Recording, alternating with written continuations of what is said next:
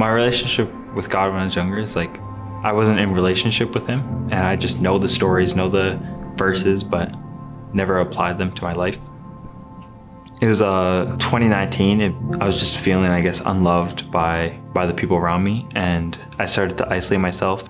When COVID hit, it like then caused all of that to just go way worse, and it's just cut myself off. It's like I wouldn't talk. I wasn't talking to my friends from school anymore. I barely go upstairs to talk to my parents. I just sat there wasting my life away on my bed.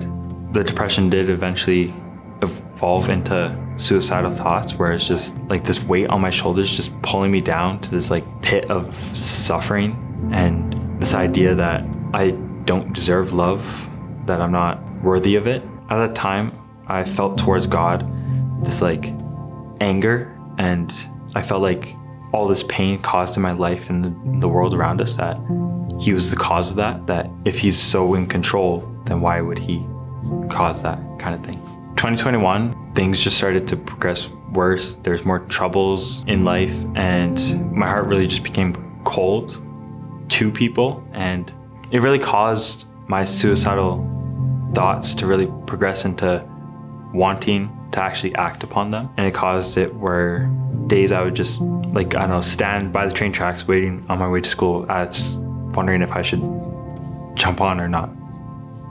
In the beginning of 2022 is when I started having these dreams, I'd constantly like attack and just this like this evil coming over me. And I don't know, it just gave me the realization that it wasn't God that caused all the evil in the world, but is truly like the enemy, the the sin in the world that is the root of the evil and it's not by God. After these dreams is I wanted to pursue God, but I had no clue how to. Then in the the June, July I got invited to Risen Camp by my cousins. The first day was really just enjoyable. It was like I felt very welcomed by my cabin members, my leaders, and that cynical mindset I had where people don't desire to be around me or want to be with me kind of just like started to fade away on that day. On day two of Risen Camp, it's like end of service.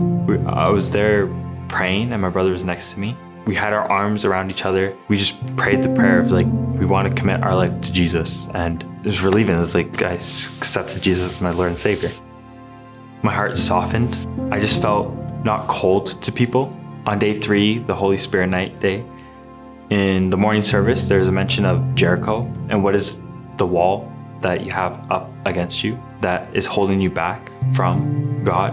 The Jericho in my life was I still carried on to the thoughts that thinking that God doesn't love me, that I'm not worthy of his love, still turning back to that old mindset. So on Holy Spirit night, I was just there worshiping, my arms up, my eyes closed.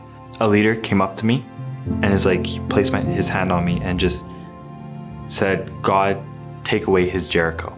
I just felt everything crumble away and just like, I know, I felt embraced by God that he truly loved me for who I am because it's once I went and prayed with my cousin and my brother, it's just me there praying with them. And it's like I had my head down and it's just, I was crying out and just like the tears that fell down my face. It's like every time I felt it drop, it's like the burdens of my life were just being pulled away by God. God made me free from my pain and my suffering and just after the service is like the suicidal thoughts were gone, the depression gone, the anxiety just gone. It's like God tore it away from me. It's like I felt truly myself again. I felt like I was human. I felt towards God such love. It's like I felt like He was truly my father. After Risen Camp, I found myself reading my Bible, going to Risen every week, inviting my dad, my sister to church.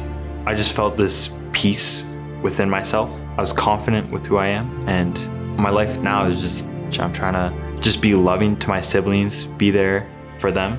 I know I have faith in everything that God does. I know to just put my trust in Him, to love Him, to serve Him. I look myself, even a year ago from now, it's like I'm truly a different person made through Christ.